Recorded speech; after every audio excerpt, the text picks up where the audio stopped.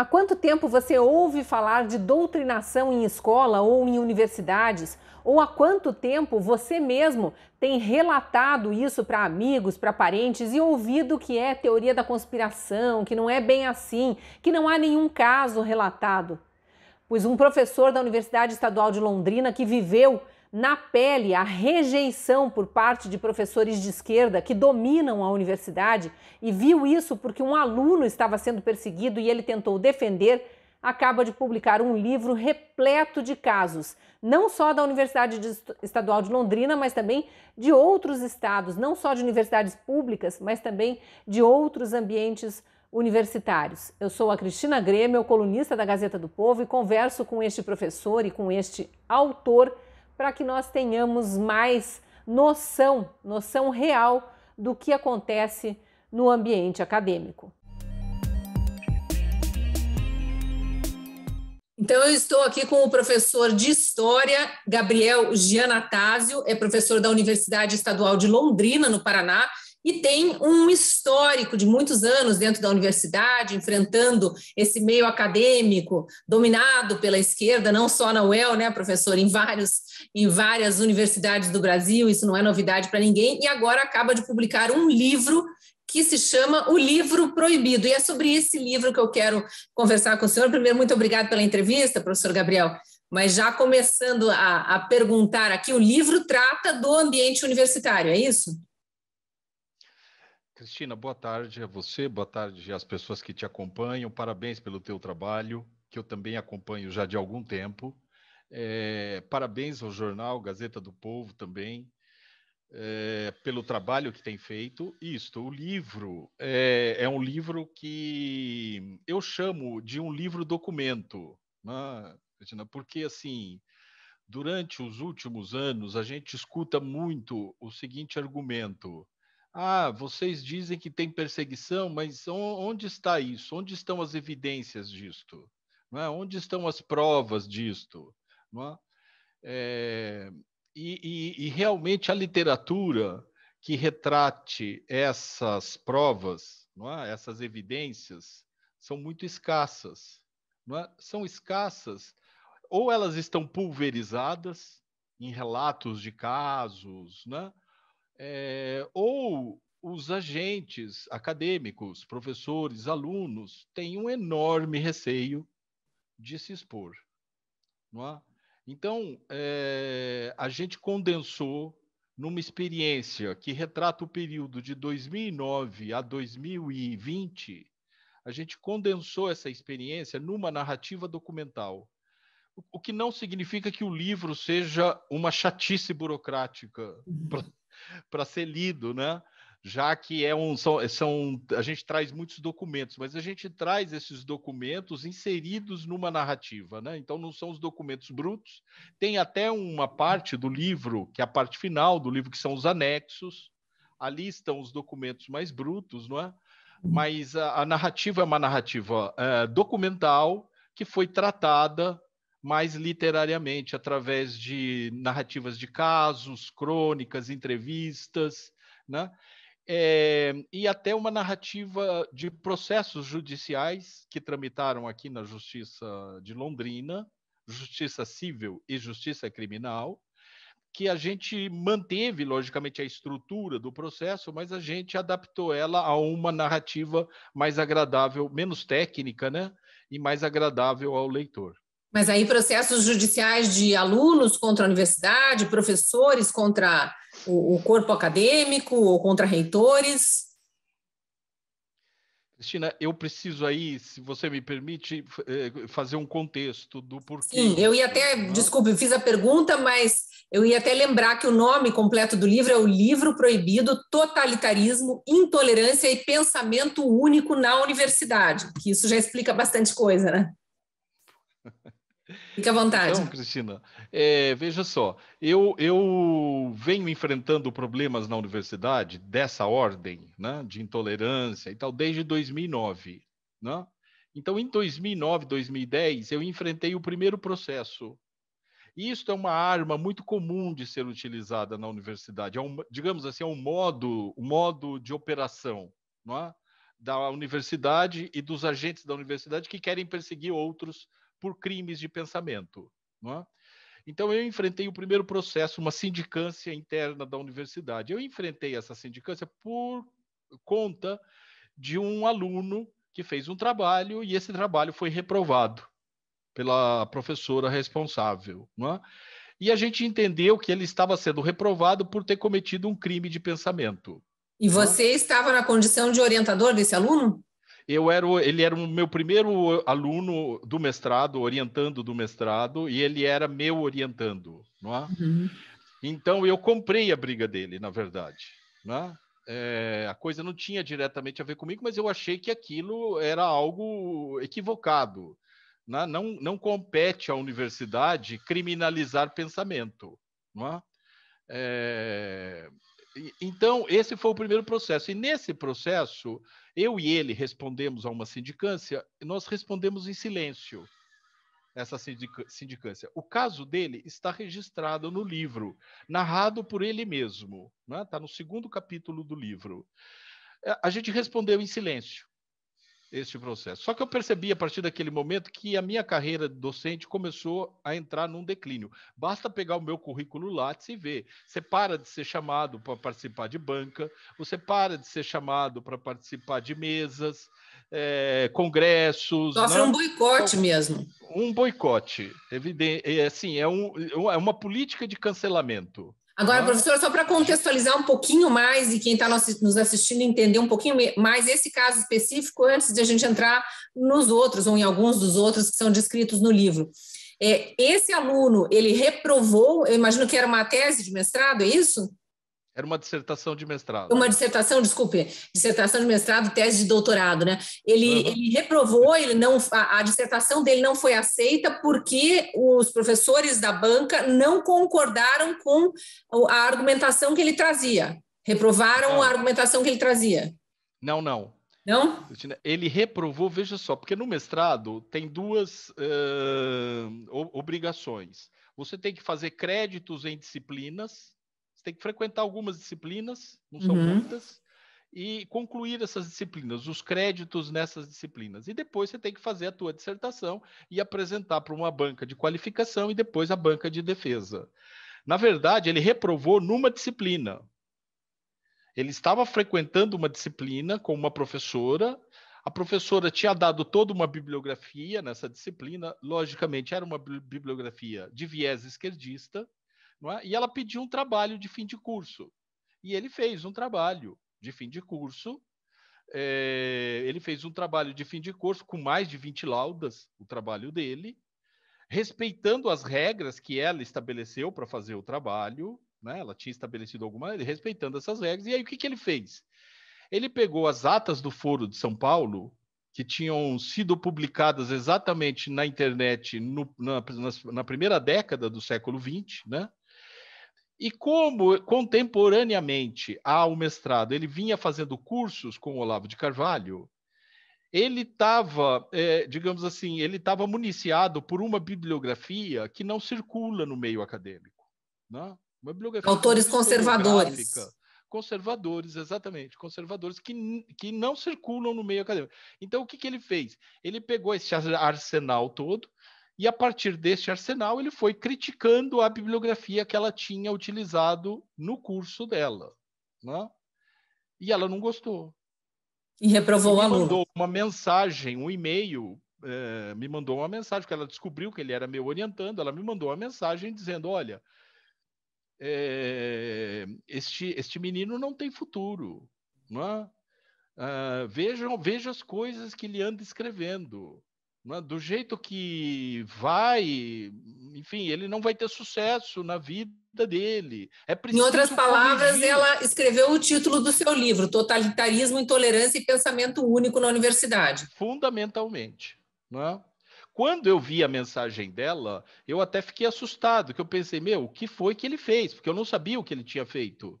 A gente não acompanha, a gente acompanha o aluno na orientação da do, do tema da dissertação, dissertação, dele. Né? A gente não acompanha o que ele está fazendo nas disciplinas é, é, em busca da conclusão dos créditos.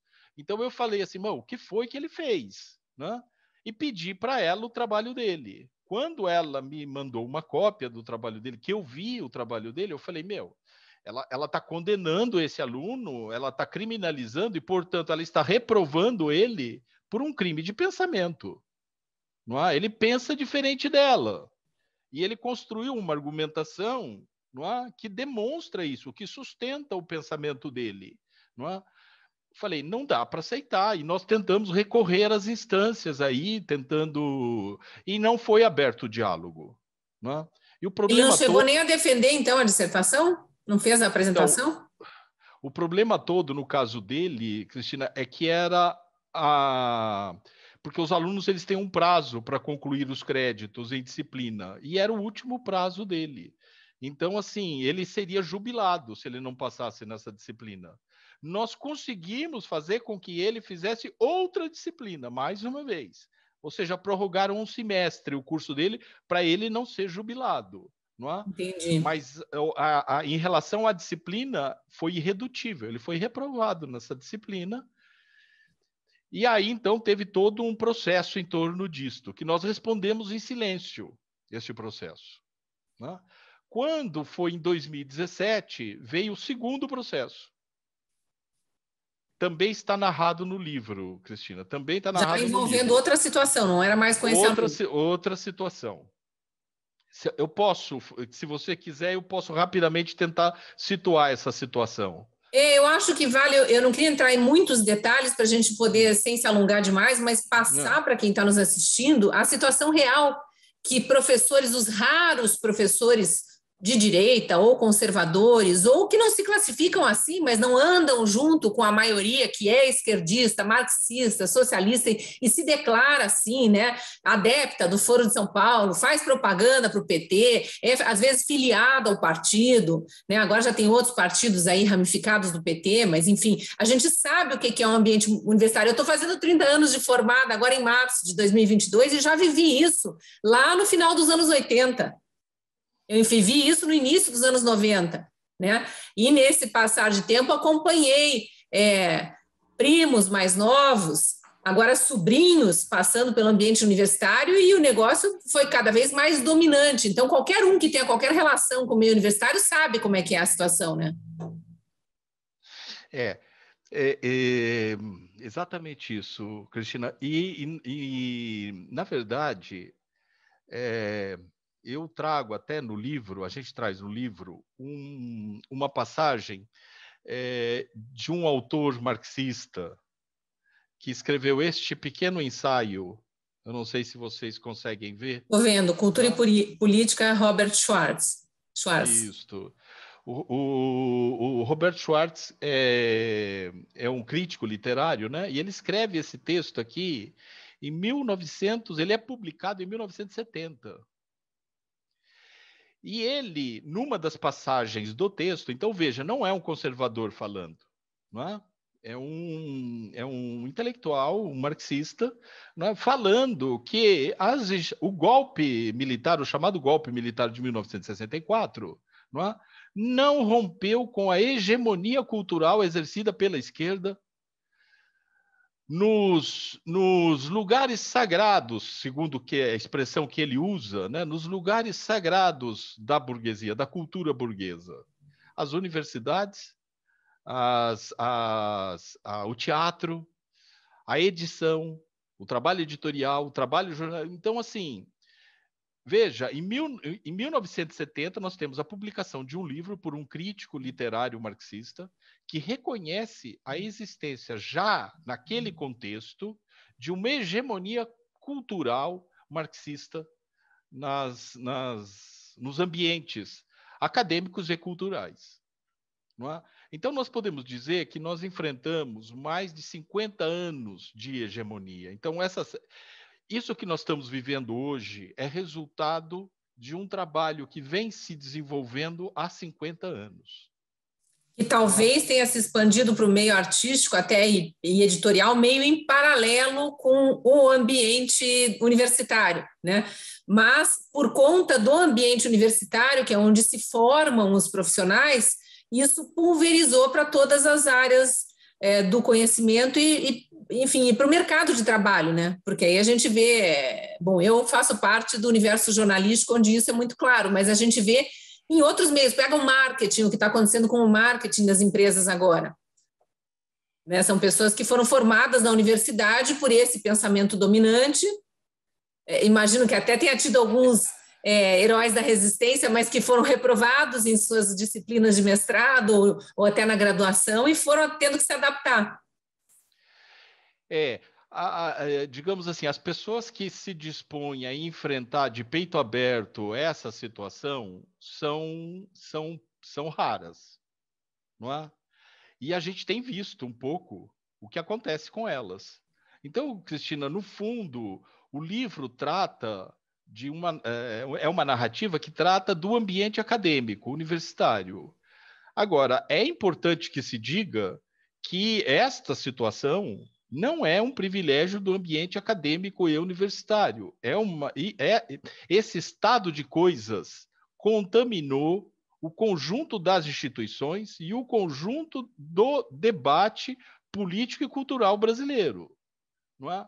E aí você tem plena razão, porque é o seguinte: de onde saem os departamentos de marketing das empresas? de onde saem os professores que vão para a rede de ensino fundamental, básica? De onde saem os jornalistas dos editoriais? De onde, enfim, não é? Promotores de é, justiça, juízes, promotor... os advogados Perfeito. que compõem a OAB, que vão presidir a OAB. Então, digamos assim, não é à toa que se fala da universidade como um lugar estratégico. É? E para a esquerda, a universidade foi um lugar estratégico, um lugar estratégico a ser dominado, porque dominando este lugar estratégico, eles são capazes de dominar as redes de sociabilidade, não é? As redes institucionais e as redes de sociabilidade. E não é um trabalho é, e não é um trabalho que nós vamos resolver a curto prazo. Isso que eu queria é, te perguntar, já meio que caminhando para o fim aqui, porque podia ficar horas conversando sobre isso e o assunto um é, prazer, é, necessário mesmo, né? Mas a solução é, é uma solução rápida? Eu já sei que a resposta provavelmente é não, mas eu preciso te perguntar isso. A solução e, e a gente vai viver para ver uma transformação, na sua opinião? É. é eu vou dizer a você o seguinte, Cristina: se a gente eh, mantém um certo, uma certa fidelidade, um, um, um, um, uma certa disposição de fazer esta transição uh, dentro de um regime democrático de direito, não é? Essa transição, não é? Ou seja, a solução para este problema será mais demorada, não é? ela será mais demorada, por quê? Porque não é fácil. Veja só, assim como a esquerda demorou 50 anos para conquistar esta hegemonia, não é? nós não vamos reverter este processo do dia para a noite. Não é? É, do, veja só, do ponto de vista histórico, nós falamos de três temporalidades hoje. Nós falamos de uma temporalidade de longuíssima duração, nós falamos de uma temporalidade de curta duração e uma temporalidade de média duração. Aqui nós estamos falando de um problema de mentalidade, Cristina. De mentalidade. Se construiu uma mentalidade que precisa ser desconstruída. Não é? E uma mentalidade dentro de um regime democrático, não é? Ou seja, dentro de um regime que não, não queira mudar do dia para a noite através de um decreto, não é? Ah, o, o, tempo que nós necessitamos é um tempo de mais longa duração. Não é? E uhum. este tempo nós estamos conquistando ele.